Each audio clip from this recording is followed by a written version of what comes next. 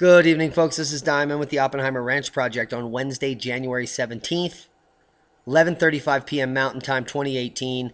Grand solar minimum update. You're looking at the northern hemisphere snow and ice extent.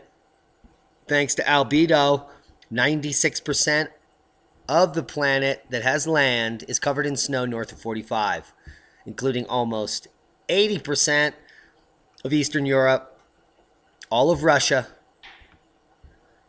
in almost all of eastern North America. Look at all these southern states covered in snow today. That's a big boom. Look at the ice extent in the Arctic.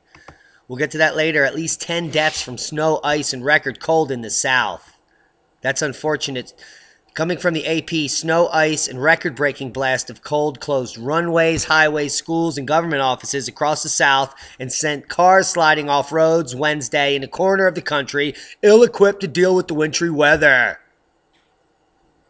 At least 10 people died, including a baby in a car that plunged off a slippery overpass into a Louisiana canal.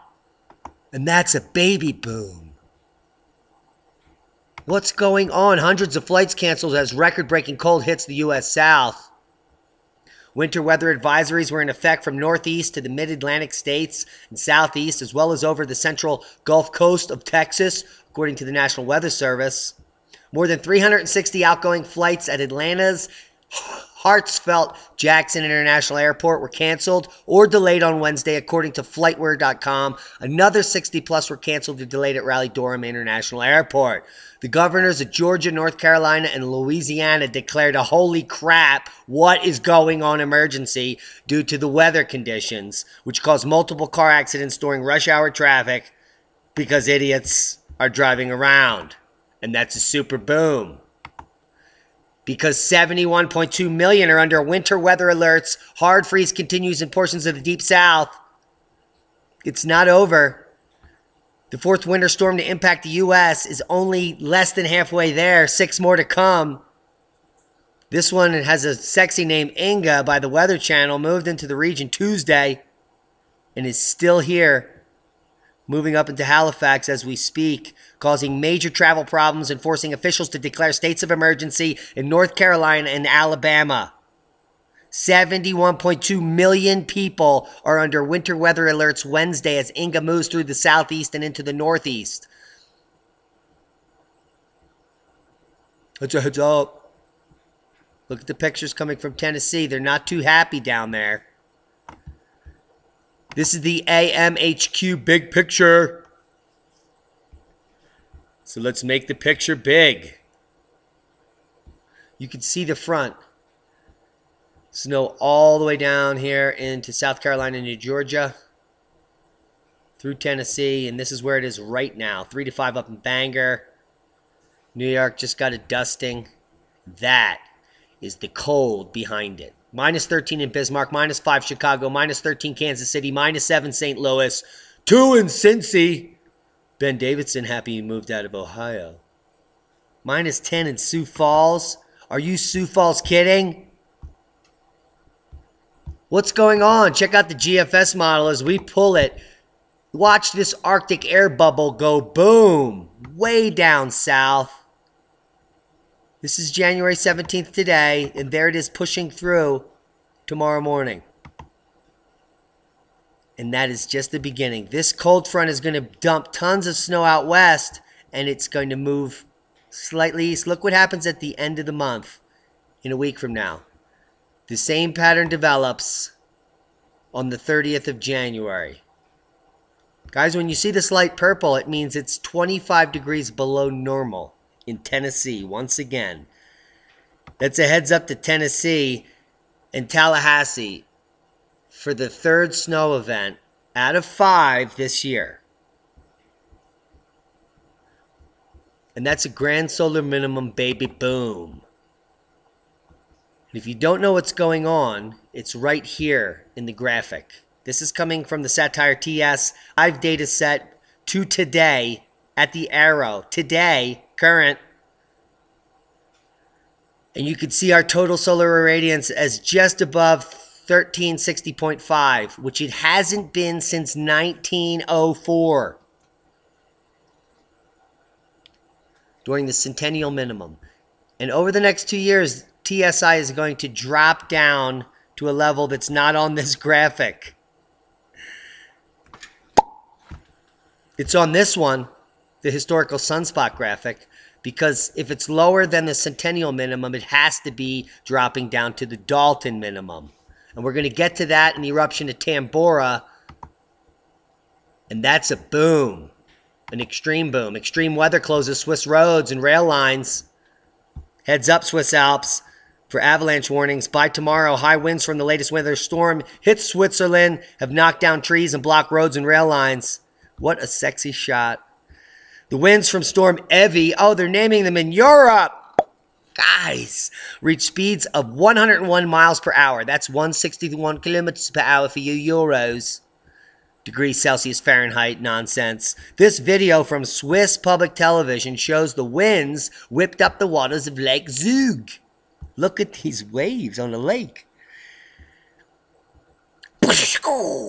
Winterstorm RW 14 Buten, holy shitten, meinen, waving, burden, flying away and and that's a heads up. Philippines, thousands flee as volcano readies to blow. This is Mayon, the historic uh, grand solar minimum, Dalton minimum volcano that blew in 1814.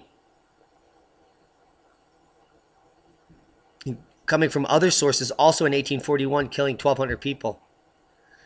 Now, this isn't the one we should be worried about, although it gave us that last two days of awesome uh, lava fountain shots. We should be worried about Kadovar volcano, which remains dynamic, says the PNG Observatory.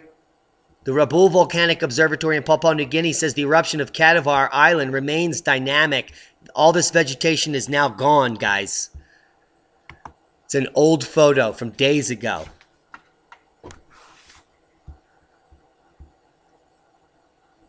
Now, the seismic activity beneath uh, Kadovar could mean that a major eruption is imminent, according to volcanologists and according to Diamond and the Oppenheimer Ranch Project, lowering the temperature of the planet up to 1.5 degrees C, depending on the ferocity of the explosive eruption. More than 9,000 people have been evacuated from the surrounding area, including Beam Island, thankfully. Steve Saunders, principal geodetic surveyor at the Rabaul uh, Volcanic Observatory in Papua New Guinea, in the last 48 hours said seismic activity had recently increased. And the reason we're getting activity is probably because new magma is moving up from the deeper down. Saunders told Australian Broadcasting Corporation.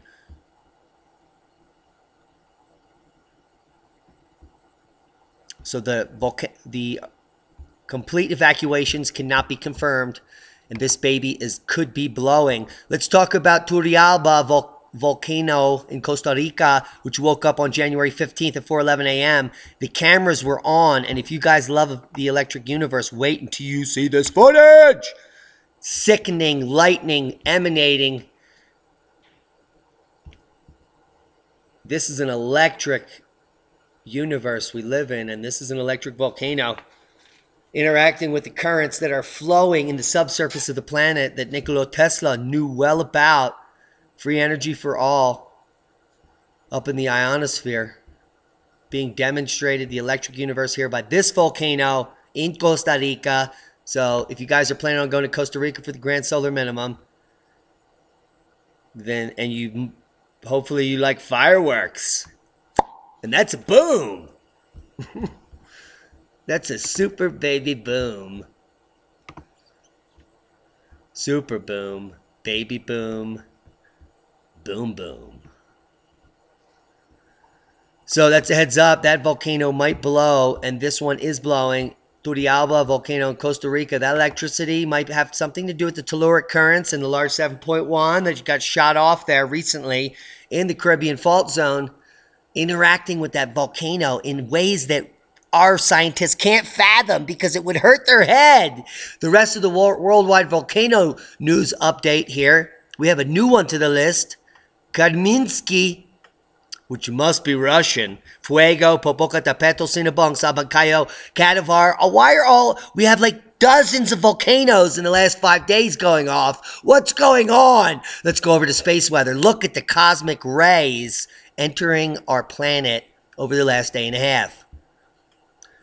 These are cosmic ray perturbations to the discover solar wind at the surface of the Earth. Putting us at KP0, which is going to give us some seismic uptick. Heads up, blowing off. I'm sure you're rattled over there in the West Coast. Happening while we're making the video here. 4.2 in the geysers.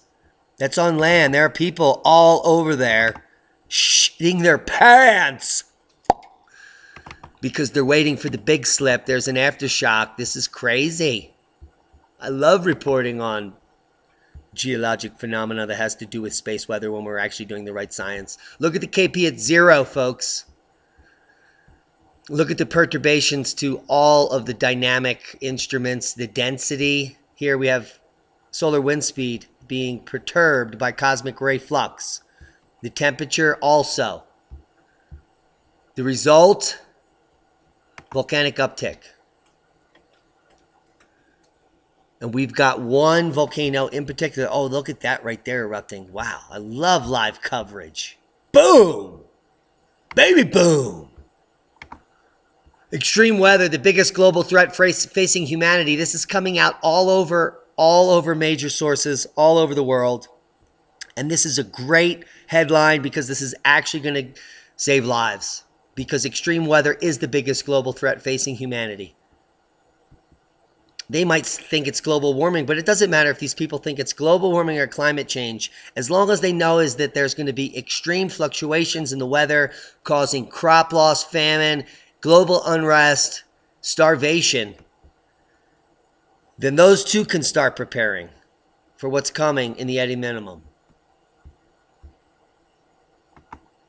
Now, the Bright Fireball we reported on last night, the first news resource in the world to have coverage like we did, has made headlines across the globe. It exploded over Michigan. It registered a 2.0 earthquake due to the sonic boom from the reentry of this object, which is clearly a meteorite. And I'm sure people are going to find fragments of this.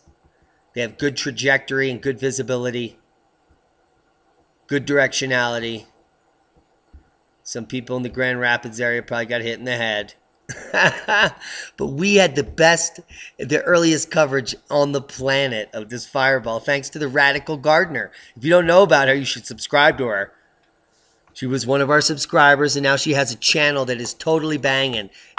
It's not as banging as the fireball, but it's a pretty good channel. She has a really good perspective from the feminine And I suggest you go over and Google, uh, just search Radical Gardener up in the YouTube box there, and you'll easily get her. I'll even leave a link down in the description box for you tonight to go search her channel. Global warming pause may last for 20 more years. Huh.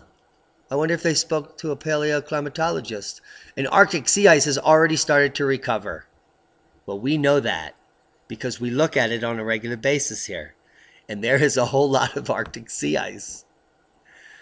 I'll leave you links to this old article that talks about Professor Judith Curry. Guys, if you're new to our channel, we have dozens of videos from all the leading climatologists in the world that don't think the planet is burning up, but they also think what I think that there are cyclic climatic events that are predictable. If you use historical documentation, including tree rings, carbon 14, and other proxy data, you can clearly see where we're headed in the future which is now. Now is the future, which is why we're seeing what we're seeing. And the next three years are going to be a proxy for the rest of your life. And that is a super boom. The deadliest volcanic eruption in history occurred during the Dalton Minimum. You're looking at Mount Tambora. Now, Kadovar, that tiny little island, may not even exist if it blows up. And there'll just be a hole in the ocean, and the amount of steam that it evaporates will cause the planet to dip. So, those of you that are preparing for the same exact thing in the past to happen in the future, that's not going to happen. The cosmic ray flux, the increased muons, heating the subsurface magma are not going to cause the same type of dynamic eruption that cools the planet in the same ways as it does as it has in the past. It's going to be a different event and we're going to witness it. And if it is Kadovar, it's going to be way different than Tambora. Now Tambora was on land. If Kadovar erupts at this scale in this underneath of the ocean, blowing that whole island into the sky, then the amount of evaporated seawater will be epically different than this eruption, causing the planet to cool five times faster. Now, in 1815, just three years after the New Madrid faulted and changed the direction of the Mississippi during the Dalton Minimum, Mount Tambora erupted in Sumbawa, an island of modern day Indonesia. So those 42 million people in Indonesia currently are totally screwed. Because another volcano is going to erupt in the next 20 years, and it could be tomorrow. Now, historians regard this as the volcanic eruption with the deadliest known direct impact, where 100,000 people died in the immediate aftermath. And when the catastrophic eruption in the eddy minimum goes off, or the multiple catastrophic eruptions go off, there will be millions of people that die in the immediate aftermath. I assure you. So I'm leaving this so you can do your own homework. Guys, my favorite subscriber and one of our uh, partners in the Grand Solar Minimum Research is Heinrich Buitenhuis, and he's doing the GROW experiment uh, over in Denmark. He just put up a new video called the Danish Winter Garden. He lives in an area that is going to be that's very similar in climate. All of Denmark is now coated in snow. It's up in Scandinavia, high up in the northern latitudes, and this guy knows how to grow food all all year. He also knows how to grow medicine. So I want you to come over to his channel. I'm going to leave you links down there. He also has these ancient me- uh, artifacts in his backyard that he found. These axe heads back from the Stone Age. You got to watch it. If you like archaeology, check out this this guy's video. It's awesome. And that's a heads up and a super boom. Hope you got something out of the video. Let's quick look, run down the graphics. this is the current data that we know about the total solar irradiance coming from current satellite data. It's lower than it has been in the centennial minimum, and it's dropping below the Dalton minimum levels.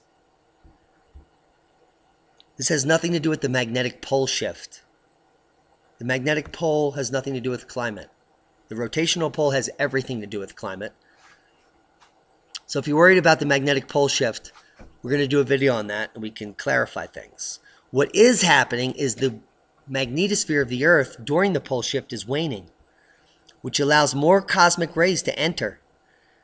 And we don't need more cosmic rays to enter because more cosmic rays are going to enter anyway because the sun is shutting down. So it's a double additive effect, and that's a boom. And we clearly have been monitoring cosmic ray flux of epic proportions, which are causing volcanoes to erupt. The uptick is noticeable, and the mainstream is not covering it or their numbers would be awesome. Guys, I don't know if you know about Anonymous, but we are Anonymous. In case you haven't heard, this channel is anonymous.